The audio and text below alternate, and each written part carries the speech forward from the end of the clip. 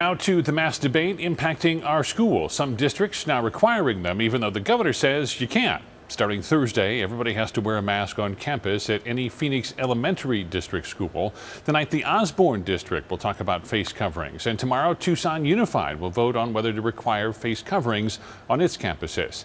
Tonight, a teacher within the Phoenix Union School District filing a lawsuit against the district over its new mask mandate. The district returned to campus on Monday and was the first to openly defy a state law banning mask mandates at public schools. Political reporter Mark Phillips explains lawmakers are now taking notice. Defying the law in the name of health. More than 28,000 Phoenix Union High School students returned to class Monday, nearly all of them required to wear a mask. We're just going to continue to focus on the health and the safety and the well-being of everybody. But not everyone wants to be told what to do. Teacher Douglas Hester filed a lawsuit in Superior Court, hoping to overturn the mask mandate. They have to choose between uh, a law that has some questionable um,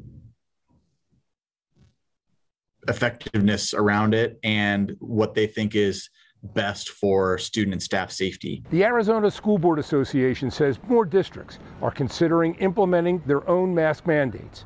Tucson Unified will decide Wednesday. School district administrators are acting like activists. They are not upholding the law. Scottsdale State Representative Joseph Chaplik wrote the bill which prevents city, county, and state governments from imposing mask mandates.